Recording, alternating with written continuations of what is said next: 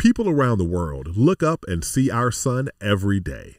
But through a space telescope, it looks nothing like it does from down on the ground.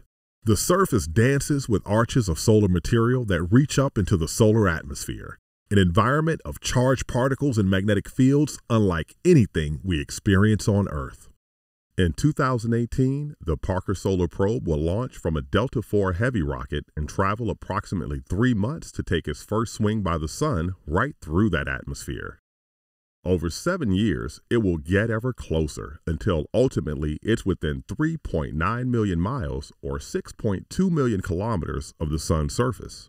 That's so close that the previous record holder, the Helios B spacecraft, was seven times farther away.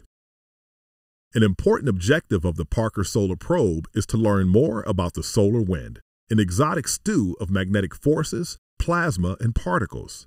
It interacts with planetary magnetospheres and atmospheres, which over the eons may have contributed to a planet's habitability.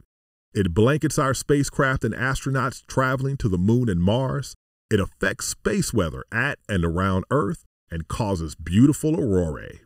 The solar wind also travels at immense speeds, and scientists want to learn why. It leaves the sun at a speed of up to 500 miles or 800 kilometers per second and engulfs all major planets in the solar system. What is the source of the wind? From a distance, it's difficult to tell. Dr. Adam Szabo, the Parker mission scientist at NASA's Goddard Space Flight Center, says We've been examining the solar wind for over 50 years, but the wind is processed by the time it reaches Earth. By studying it much closer to the sun, the Parker probe will be able to tell us such things as what part of the sun is providing the energy source for the wind's particles, and how they can accelerate to such incredibly high speeds. It's like trying to understand how a car runs without looking at the motor. It's important to get under the hood to determine the mechanisms driving the actual system. The Parker Solar Probe is the only NASA mission named after a living person. Dr. Eugene Parker, an astrophysicist, is credited with developing the theory behind the solar wind in the late 1950s. When asked why he thinks so many people are drawn to this particular mission, Dr. Parker said, I assume it's the same reason that I got excited about it. This is a journey into Never Never Land, you might say, where it's too hot for any sensible spacecraft to function. But some very clever engineering and construction has succeeded in making what looks like a very workable mission. Clever indeed. At its fastest speed, the Parker Solar Probe will orbit the Sun at 430,000 miles per hour or 716,000 kilometers per hour. That's fast enough to get from New York City to Tokyo in under a minute. It will absorb temperatures as high as 2,500 degrees Fahrenheit or 1,400 degrees Celsius. And soon, it will begin to transmit the data to help us better comprehend one of the least understood phenomena in our solar system the solar wind. SWEAP investigation consists of three separate instruments and a central electronics box. Most of the instruments within SWEAP sit on either side of the spacecraft, stare out over the entire sky, and make maps of all the different particles and what energies they're moving at, uh, and what, what types of particles they are. The purpose of SWEAP is to measure the bulk of the solar wind and the solar atmosphere. One of the biggest questions we want to resolve with Solar Probe is how the corona and the solar wind are heated. In order to do that, we need to see if there are waves that are coming from the sun and depositing energy within the solar atmosphere and in the solar wind. So we have a series of sensors across the spacecraft that will collect individual particles, electrons, fully ionized hydrogen and helium, which we call protons and alphas, uh, and other minor ions uh, and make maps of the number of particles as a function of their speed and energy and, and, and type. We take those maps on the ground and we can interpret them to figure out the temperature, the density, the pressure of the solar wind uh, and, and, the solar atmosphere. On the RAM side of the spacecraft, so that's in the shadow of the heat shield, in the direction that Solar Probe is moving around the sun, we have span A. Span A looks ahead of the spacecraft.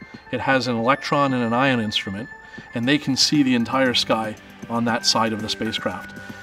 On the other side, the anti-ram side of the spacecraft, we have span B, which basically looks behind our direction of motion. Span A and Span B are each able to take an inventory of electrons coming from any direction in the sky. And their fields of view stitched together like the seams on a baseball. The spans combine to give us a field of view that covers nearly the entire sky, but we have one large gap in our field of view, and it's produced by the heat shield at the front of the spacecraft. So we have the Solar Probe Cup as the final instrument within SWEAP. The Solar Probe Cup sits on a strut. It looks around the heat shield and faces directly into the sun.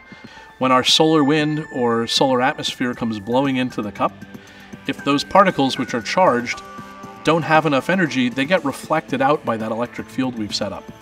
The particles with enough energy to make it past the electric field come in and strike a plate, and we record the current. All we have to do in an individual measurement is sweep in voltage and measure the number of particles that can make it in as a function of voltage. That sweep, when we interpret it, lets us figure out the average speed, direction, energy, temperature, density of individual populations of particles.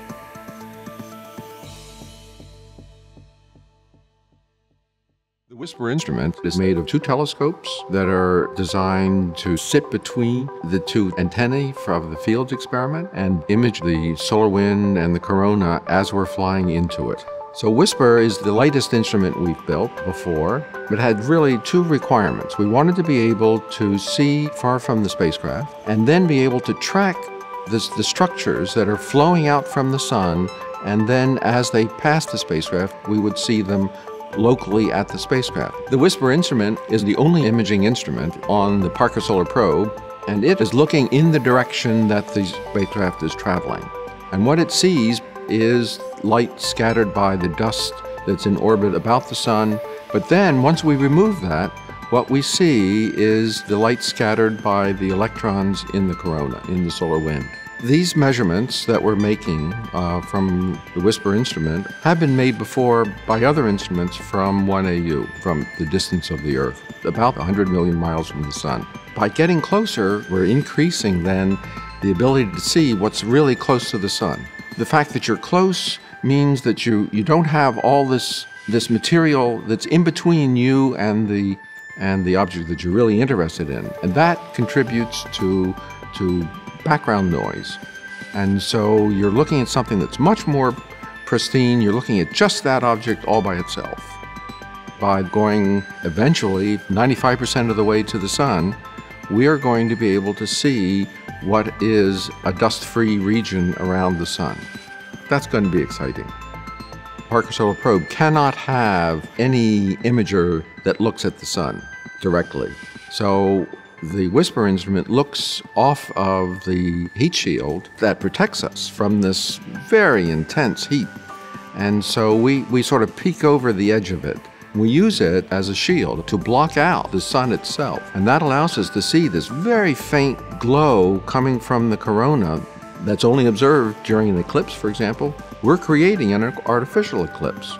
Well, eclipses are great, but from the data point of view, I like my instruments better. They're working continuously, round the clock, seven days a week, 24 hours a day, 365 days a year, sometimes for years. Is in a special place on the spacecraft. The electronics package is inside the spacecraft where most of the electronics are, but all of our sensors are mounted on the outside of the spacecraft. We have three sensors that measure magnetic fields that are mounted on a boom behind the spacecraft in the shadow shield, and then we have five sensors that measure plasma voltage. These are electric field sensors. They extend into full sunlight, uh, and they get very hot. Two of the key measurements to understanding coronal heating are the measurement of the magnetic field and the electric field. And together they give us what's called the Poynting flux, which is the energy flux of the of the corona. And to make those measurements, we have to actually go into that plasma and, and put sensors in the plasma to measure magnetic fields and electric fields directly, and that's what, that's what fields will do. Solar wind is the escaping atmosphere of the sun. It's the escaping corona uh, of the sun. The corona is heated in a way that we don't understand yet, uh, presumably involving magnetic fields, uh, by energy that's, that comes from below in the photosphere and it's heated to such a high temperature that it can escape the gravitational potential of the sun and become an escaping wind, a stellar wind, a solar wind. Well, the design of the Fields instrument is a new thing for solar wind physics. Um, it kind of combines two previous styles of, of, experimentation. There are two ways to measure electric fields in space. One is using a, a, technique that's called a double probe. Then there's another technique which is measuring plasma waves or radio waves. And Fields for the first time brings these two techniques together. I think the very first data that we get will be revolutionary. At first blush, it'll just be a bunch of numbers as a function of time. Um, but the team, the science team, will take those numbers and make uh, and make visualizations in the form of spectrograms, and eventually those uh, those data will be related to models, and so we'll be able to compare directly 3D visual models of the coronal magnetic field. These measurements have never been made in the environment close to the sun. We've made measurements similar to this in the Earth's magnetosphere, uh, Earth's ionosphere, but putting a package like this into, into the solar corona is just never been done. The closest anyone's ever been to the sun, uh, and based on what we've seen so far from spacecraft not quite as close, uh, it's going to be striking and I think revolutionary.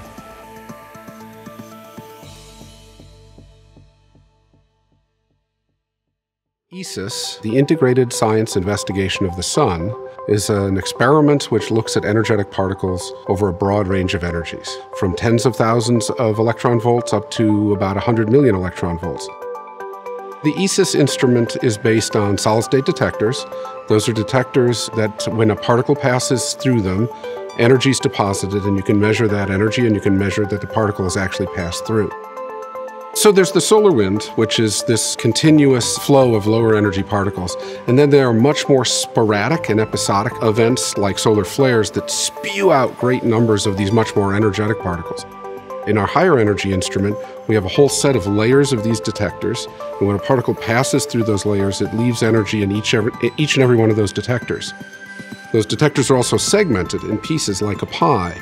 And so when a particle comes through from a particular direction, you can tell both the direction the particle came through at, and you can tell the energy and species of that particle by looking at all the different uh, energy depositions. In our lower energy instrument, we also have the same sort of solid state detectors, but in addition to that, we use an extra trick, which is when a particle passes through a very thin foil, it ejects an electron. We're able to detect that, and that gives us the start timing for the particles. One of the big issues for ISOIS is to understand the difference between solar energetic particles that just come from the sun with a certain energy and those that are energized in interplanetary space as they move outward. By the time they get out to the Earth's orbit, um, that's all so messed up, mangled up, that it's kind of hard to tell the difference between those. But as we get in closer and closer to the sun, we'll be able to differentiate those two types of sources, which will be really important for understanding the fundamentals of energetic particles in the solar system. By going in close and measuring the detailed distributions of these energetic particles, their energies, directions, and their species, we're going to learn things that we couldn't possibly learn by looking forever from a remote distance. And by understanding our sun in detail, we can understand lots of other stars in much greater detail.